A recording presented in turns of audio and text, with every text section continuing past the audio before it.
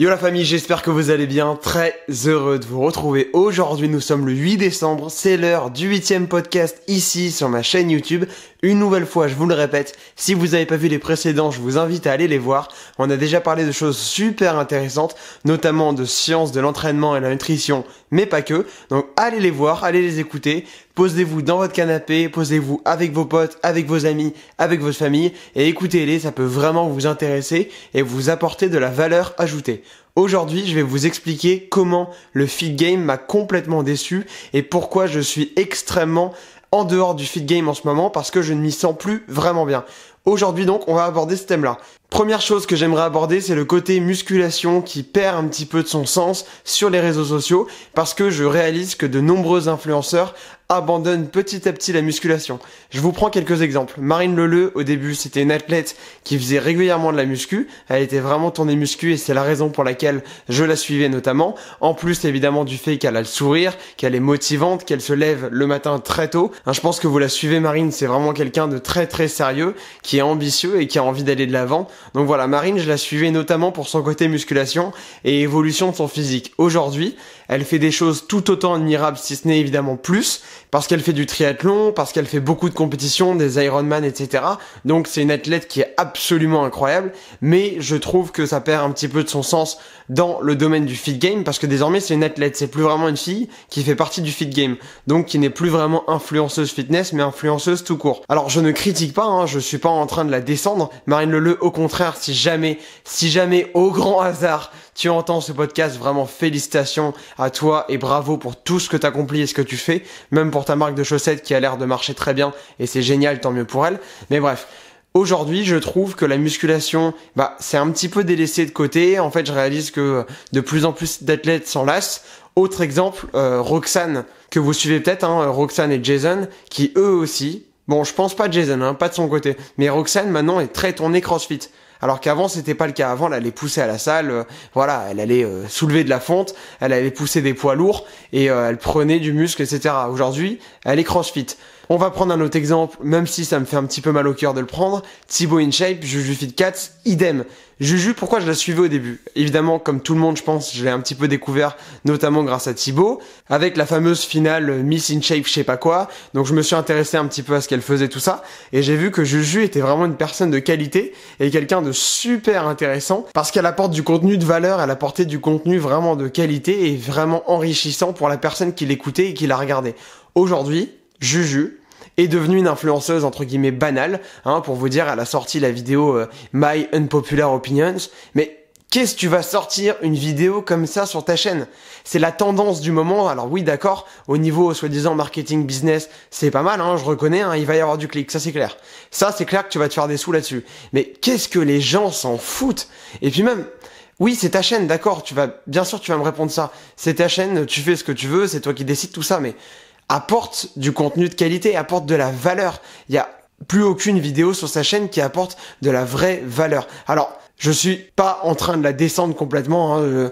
Elle est tout le temps présente sur les réseaux sociaux. Elle euh, publie une vidéo YouTube chaque lundi à 18h. Donc vraiment voilà, on peut que l'admirer pour tout le travail qu'elle fait. Et même aujourd'hui, elle a sorti sa marque Team Fit avec sa première brassière, donc son premier vêtement, qui là aussi est admirable, a l'air de bien marcher, tout ça. Donc je jure un business qui est absolument hallucinant et bravo pour tout ce qu'elle fait. Mais je trouve que aujourd'hui, maintenant qu'elle est en couple avec Thibaut depuis un bout de temps et qu'elle le fréquente régulièrement, elle tombe un petit peu dans euh, le panneau et elle commence à faire un petit peu comme tout le monde. Elle va sortir une vidéo chez les pompiers. Chez les pompiers. T'as pas l'impression qu'il y a un ou deux mois, Thibaut a fait exactement la même chose. Et Thibaut, pareil. Thibaut, c'est complètement hallucinant ce qui se passe. Thibaut, le thème de sa chaîne aujourd'hui, c'est d'aller tester des sports, aller faire découvrir de nouvelles activités. Putain, mais il fait une vidéo où il va interroger des personnes dans la rue qui sont concernées par les gilets jaunes. Mais sans déconner, mais c'est quoi cette idée?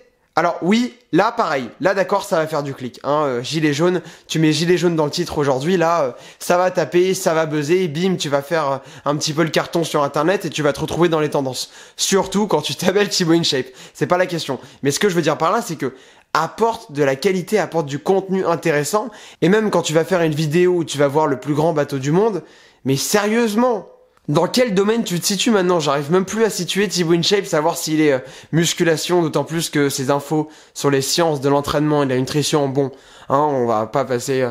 Pourquoi? Aujourd'hui, Thibaut InShape n'est plus un influenceur fitness, alors que c'est sa passion première, que c'est quelque chose qui l'anime au quotidien, et c'est vraiment euh, l'un des objectifs de sa vie, et même à la base l'un des objectifs de sa chaîne, de partager du contenu de musculation, partager sa passion, tout ça. Aujourd'hui, Thibaut InShape, c'est devenu un gros business, et c'est notamment la raison pour laquelle j'en ai parlé en story, si vous me suivez un petit peu sur Instagram. De toute façon, je pense que vous me suivez, hein, c'est pas la question. C'est notamment la raison pour laquelle Thibaut, aujourd'hui, par exemple, étant donné son image de business, image de marque et sa valeur en termes de représentation marketing ne peut plus se permettre d'admettre si jamais il l'a été Il ne peut plus dire qu'il est sous stéroïdes androgènes anabolisants parce qu'il a une image de marque à tenir et qu'il a tout un marketing derrière. Voilà. Donc aujourd'hui, je pense que Thibaut InShape est un excellent youtubeur. Hein. Je vais faire les mêmes compliments qu'avec Juju, mais voilà, il sort encore plus de vidéos que Juju d'ailleurs. Hein. Il sort une vidéo tous les trois jours, donc c'est complètement délirant ce qu'il fait. Vraiment, il doit travailler comme un espèce de barge. Donc voilà, je ne peux que m'incliner devant son travail, mais vraiment voilà, je ne peux que me mettre à genoux parce que son travail est incroyable, parce qu'il a monté un business absolument absolument fabuleux et franchement bravo à lui.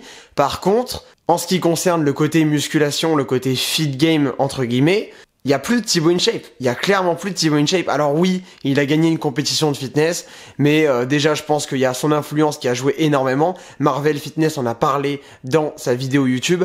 Oui, clairement, à mon avis, Thibaut InShape, sans son influence et sans le Blaze Thibaut InShape n'aurait pas été premier. Le gars qui a fini deuxième était bien plus stock que lui. Enfin, bien plus stock. Il était plus musclé que lui et en plus plus sec. Donc il avait aucune raison de gagner, c'est son influence qui a fait, à moins que les critères de sélection se basaient aussi sur euh, le show qu'il a fait. Il a fait un show euh, pas mal. Là, il faut l'admettre. Bref, il y a un autre sujet aussi que j'aimerais aborder, c'est le côté donc musculation qui est abandonné par pas mal d'influenceurs. On a vu aussi mademoiselle Chloé Lanchois qui vous le savez me plaît beaucoup sur son contenu parce que vraiment elle fournit un contenu hyper qualitatif et hyper intéressant. Chaque jour, elle poste des gros pavés sur Instagram. Et si vous les lisez pas, c'est vraiment dommage. Je vous conseille d'aller le faire. Elle poste du contenu super enrichissant en story. Et moi qui ai fait les secrets botaniques d'une peau parfaite, son protocole pour avoir une peau parfaite, elle est aussi extrêmement compétente dans ses domaines de compétences justement. Parce qu'elle a fait des études là-dedans, parce qu'elle a travaillé sur la nutri-cosmétique. Donc son protocole marche et son protocole est génial à lire. Mais aujourd'hui, Chloé Lanchois a arrêté la musculation. Chloé Lanchois a arrêté euh, tout ce qui est euh, poussé à la salle, mis à part les jambes. Alors, va savoir pourquoi. Il me semble que c'est parce qu'elle aime travailler les jambes, donc euh, c'est peut-être une explication. Après, bon, peut-être qu'elle favorise uniquement le travail des jambes, hein, comme pas mal d'influenceuses. Mais bref, c'est pas la question.